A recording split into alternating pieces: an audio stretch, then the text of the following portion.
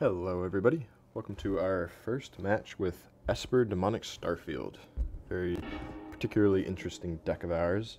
Um, seems like a moderately keepable hand. It's got a couple of 5 drops, but what I'm excited about is the Silkwrap and the Wasteland Strangler interaction. Of course, you can Silkwrap their uh, turn 1 or 2 creature, and then use the Strangler to not only kill one, but leave behind a body that can kill yet another. So, the definition of card advantage. So, with all that in mind, I think I'm okay with keeping this. We even have the uh, Silumgar's command to bring back an enchantment once it's already been played, either the Silkwrap or uh, a Demonic Pact, ideally.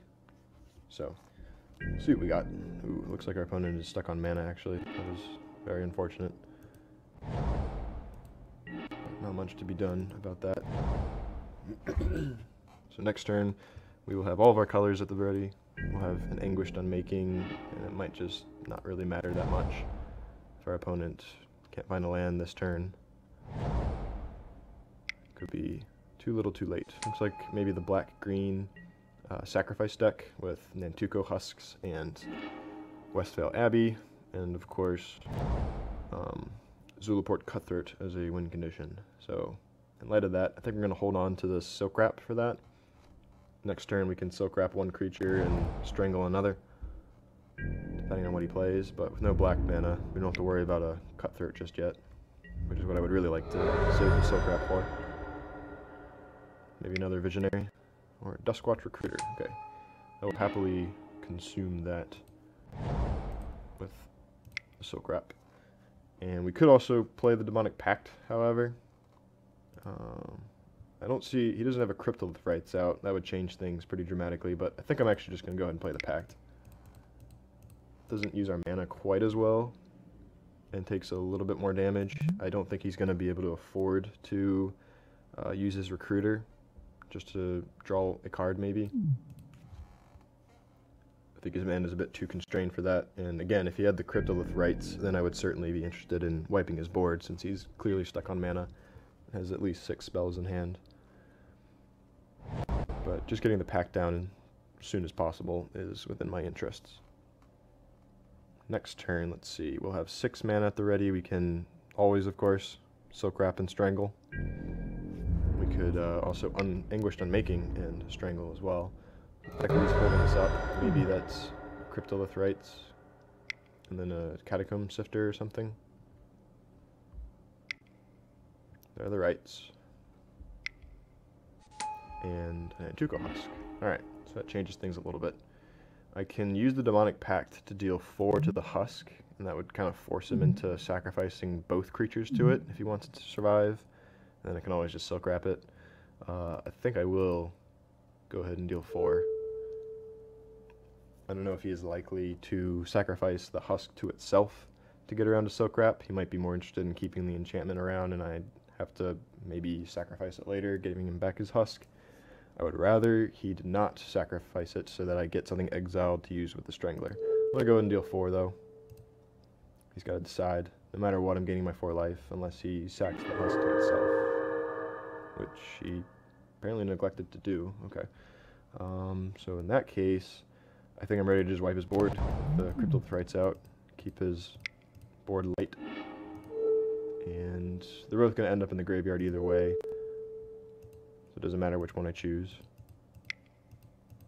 Go ahead and strangle you, and give you back your Eldritch Visionary. Alright, so opponent has an empty board. He's got a man land, which is something to keep track of, mm-hmm. and Cryptolith Rites if he can mm. collected company or something, but between the Silumgar's command, the Anguished Unmaking, and all the mm-hmm. card advantage we're going to get off of the Demonic Pact, I think we're in mm. okay shape especially if he's just playing Sifter, we can um, deal with that, I think, quite easily. So I didn't actually mean to F6, just in case. I will draw two cards here, see what we can find. It's like a Languish or something. Might cast that. Don't have any enchantments in the graveyard just yet uh, for my Starfield of Nyx, but now that I have the Sinister Concoction, of course, that all changes. So let's see. What do we got here? Oops, I actually want to play that. We have Seven lands. I could play the Starfield and use the Sinister Concoction. Hmm. Uh, first, I'm going to offer a trade here. I doubt he takes it. But we'll find out. I could also always hold up 5 mana for the Silumgar's Command. I'm going to be doing that next turn, certainly, as that's my best answer to my own Demonic hmm. Pact. So I think I want to play the Starfield first. And I'm going to play Sinister Concoction and use it now hmm. To remove the Sifter, giving him no hmm. mana off of the Cryptolith Rites. Question is, what do we discard? I think it's pretty obvious, just a swamp. Not really hurting for lands. And unfortunately put an Angelic Purge into the graveyard. I would have liked to put maybe another Demonic Pact or something to hmm. bring back with the Starfield. But at the very least, we do have Sinister Concoction hmm. on recurrence now. Opponent has five cards in hand. He's about to lose two to the Demonic Pact. Say we're in pretty decent shape here. So we should be at 16 less life, uh, 16 life rather, four less life, if our opponent had sacrificed the Nantuko Husk to the uh, Demonic Pact activation. But he elected not to. Maybe just an oversight. So our opponent plays one or two cards, then we'll get the rest of them with uh, Demonic Pact. If he decides to play just one and hold on to the other two, I would anticipate a Collected Company in the near future. Right, Zulaport's a little annoying, but we do have an answer to it. We are going to get his hand from the looks of it. He's going to probably sacrifice... Oh, never mind. Okay. Hopefully no Nantuko Husk. That card would be, I guess, the scariest here. But we are going to Silumgar's command the Demonic Pact back to hand and likely deal three, uh, minus 3, minus 3 to the Zulaport Cutthroat. Getting that off the table is imperative, I would say.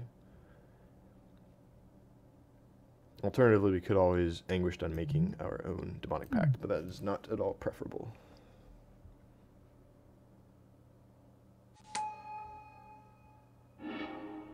Let's see, you got a Duskwatch and another Sifter. I'm alright with that.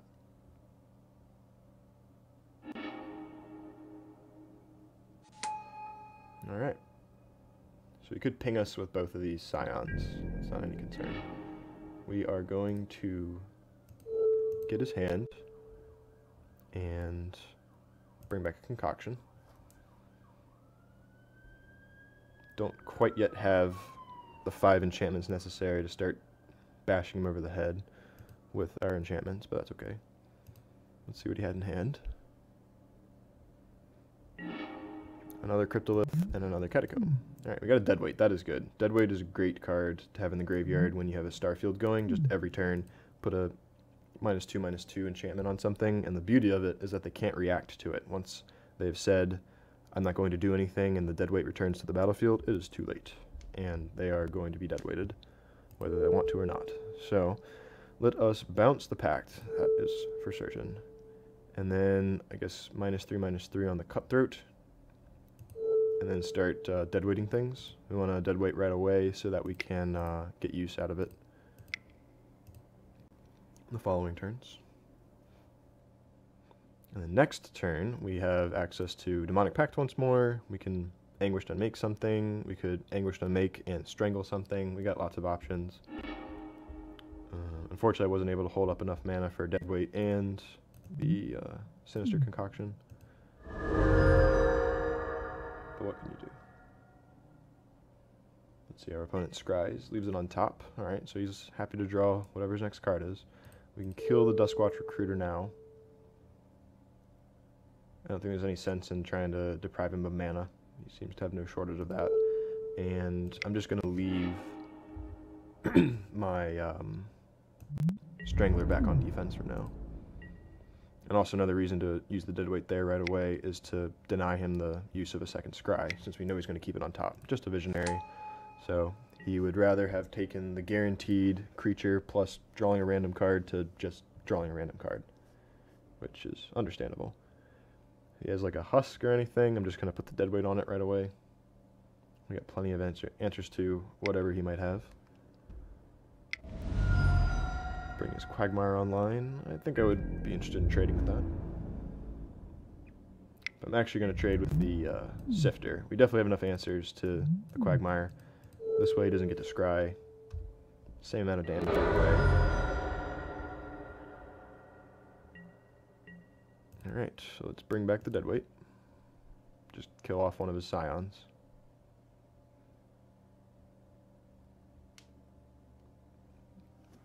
So this is the last moment he has to react.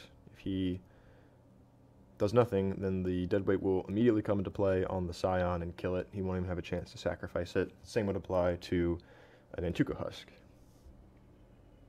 We do want to exile mm-hmm. something. Might be actually too late to exile the Cryptolith He has enough land, it doesn't matter. I'm just going to save it mm-hmm. for the Quagmire, I think. But first and foremost, I need to play this Demonic Pact. I don't think there's any way he's got two mana spells to cast. Yeah, okay. So he was just thinking.